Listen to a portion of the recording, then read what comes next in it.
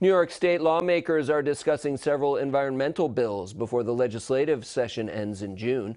News Channel 34's Karina Capabianca has more on what some of those are and what impacts they could make. One of the biggest pieces of legislation that remains is the Climate Change and Community Investment Act, which could raise about $15 billion in revenues per year.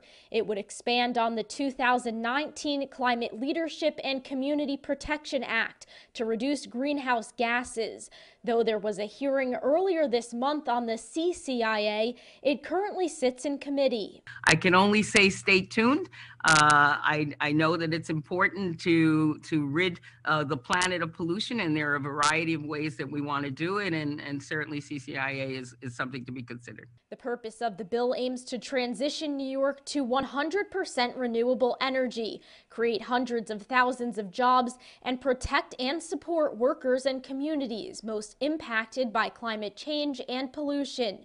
To do that, it would put in place a carbon tax on corporations. Senator Pam Helming opposes the legislation. Her office says it could result in an additional 55 cents per gallon gas tax, as well as increased taxes on heating oil and natural gas.